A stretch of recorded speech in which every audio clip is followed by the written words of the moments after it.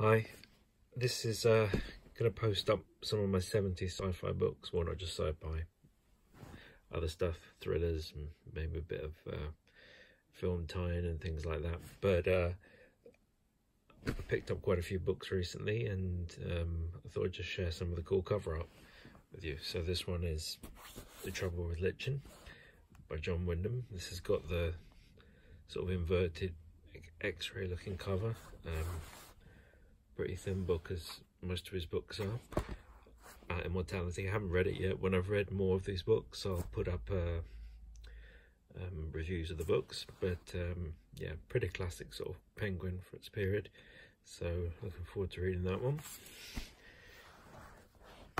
This is uh, Prime Numbers by Harry Harrison. It's short stories basically, and um, Harrison wrote Soylent Green, well, Make Room, Make Room, which became Soylent Green, which you've probably seen. Um, and again, it's got some great 70s cover art. Very sort of crazy stuff. Sorry for the finger. Um, and again, I'll review that when I've read it. I picked up this, Shibumi, which was a big uh, thriller in the 70s. Um, about a kind of an assassin ninja guy. Um, I've wanted to read it for a while. It's quite a hefty book compared to the others. But what's crazy here is there's basically no artwork. So, um, yeah. But yeah, can look forward to read that. And um, yeah, post a review on that as well.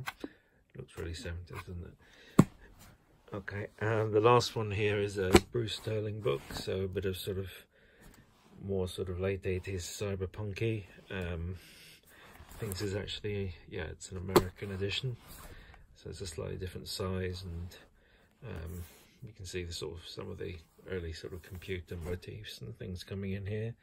But yeah, so I'll give that a read too at some point and post up a review.